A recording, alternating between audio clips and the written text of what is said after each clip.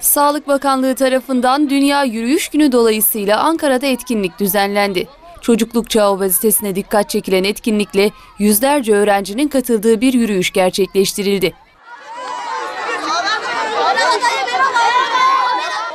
Sağlık Bakan Yardımcısı Emine Alp Meşe, toplumda fiziksel aktivitenin eksikliğine dikkat çekerek hareketsiz yaşamın obezite, kalp damar hastalıkları, hipertansiyon, diyabet, osteoporoz ve kanser gibi hastalıkların artmasına neden olduğunu belirtti. Yapılan çalışmalar beden kitle indeksindeki artışın birçok kanser türünün ortaya çıkma ihtimalini artırdığını göstermektedir. Ayrıca koroner arter hastalığı, kalp yetmezliği ve ani ölümü de içeren kalple ilişkili birçok sıkıntılı durumun obezite nedeniyle görülebileceği bilinmektedir. Meşe Türkiye Beslenme Sağlık Araştırması 2017 verilerine göre 15 yaş ve üzeri bireylerde obezitenin yaklaşık %32 olarak belirlendiğini söyledi.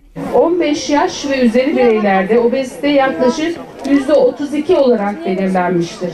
Yani her 3 bireyden biri obez olarak nitelendirilmektedir.